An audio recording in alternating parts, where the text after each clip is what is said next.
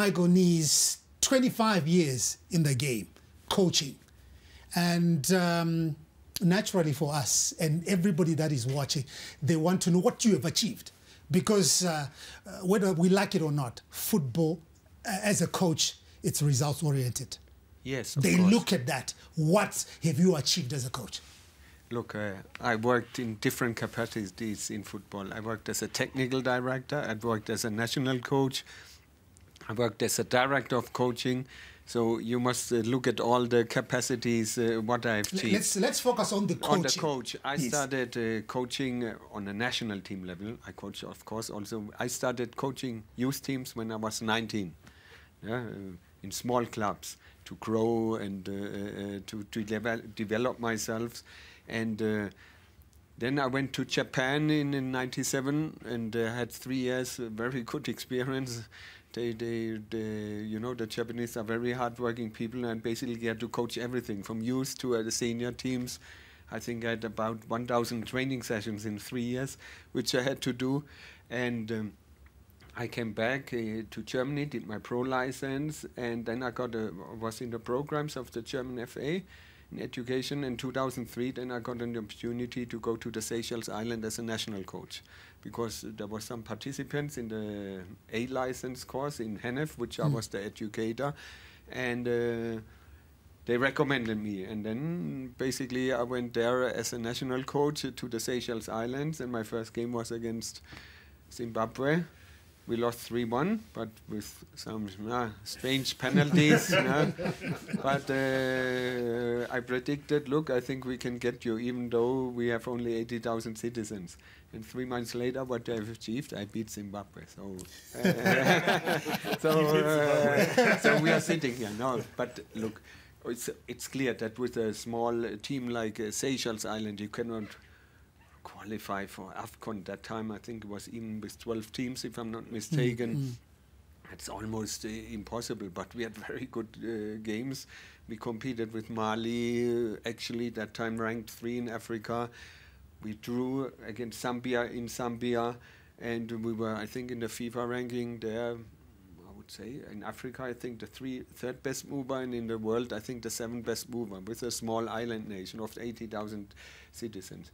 So uh, I think for me that was a real achievement. I don't think I could achieve more. No? In uh, with the Rwanda national team, I skip a little bit. I first go to the coaching with the Rwanda's national team. I was coming there in 2006 after the World Cup when I was before working with the England national team in a liaison capacity, not in a coaching capacity, but in a like team management capacity for the World Cup.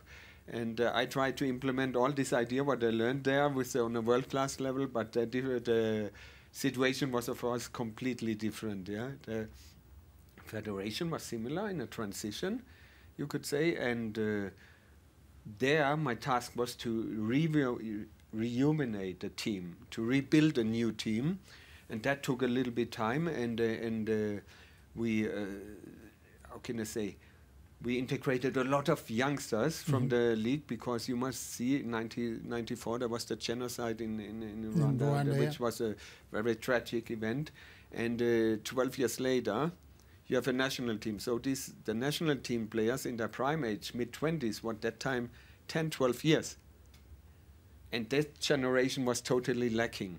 So before they were always uh, integrating players from neighboring countries which had some like some sort of dual citizenship, uh, say it in this way. But so we focused to rebuild a new team with very young players. Yes, and we started to build that team and then we started to win also games in the CECAFA Cup. It was that time an 11 nation tournament with Zambia, with Malawi. It was really a good tournament in, in Ethiopia. We finished third. And I thought also this was good. Then we continued to, to win, and I gave over a team which beat Liberia 4 0 when I left uh, Rwanda. So I really think I progressed there. I couldn't qualify, yes, but it was not possible because we really had to rebuild. Yeah, leave very old players out and, and start with young players, inexperienced local players. Yeah, we also played against Cameroon with the local team and we lost two one. No, I think that was very good. Yes, but we didn't qualify there. After that, uh, I went to the Israel uh, Football Federation. I was there the under 21 national coach and uh, technical director for all the youth national teams. We had a very good program with the under 19. We qualified for the last eight in Europe, which I think was very good. And with under 21, we were really on track to the European Championship and I think even to the Olympic Games. Unfortunately, even with the under 19, the Gaza war broke out. And uh, this, I think, in my opinion, until today, prevented that under 19 went to the under 20 World Cup and under 21 to uh, the European Championship. But nevertheless, we won nine out of 13 games with under 21 of Israel, which I really top teams.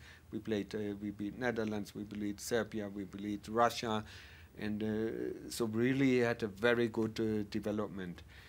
Yes, you can say I didn't win the African Cup of Nations, yes, but I think in the coaching I really progressed every team further.